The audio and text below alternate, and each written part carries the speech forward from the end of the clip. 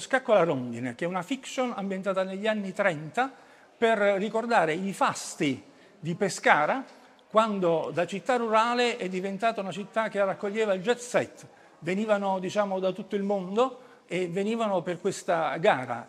Circa 200.000 persone venivano ad animare eh, la città.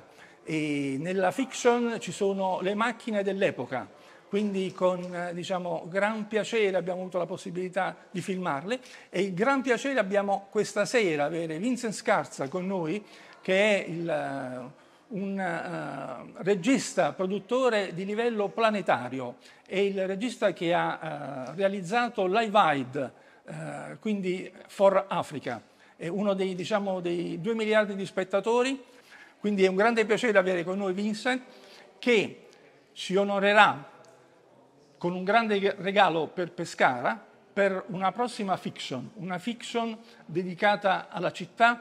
Tacciamo per il momento il nome, però sarà un grande piacere avere lui come direttore per questo lavoro. Grazie Vincent. Eh, grazie Pedro. Grazie, grazie. grazie. grazie.